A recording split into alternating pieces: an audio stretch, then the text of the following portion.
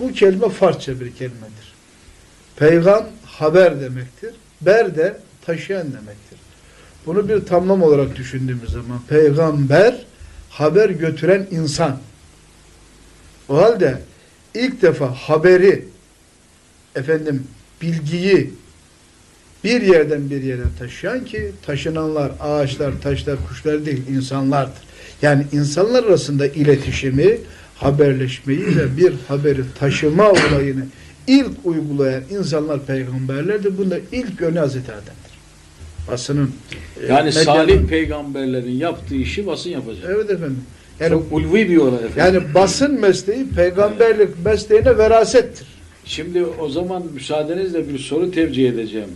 Bu haberciliği yanlış yapanlara yalancı peygamberlerin varisleri diyebilir miyiz? Efendim pek e, tabii ve hatta zaruri bir sonuçtur bu.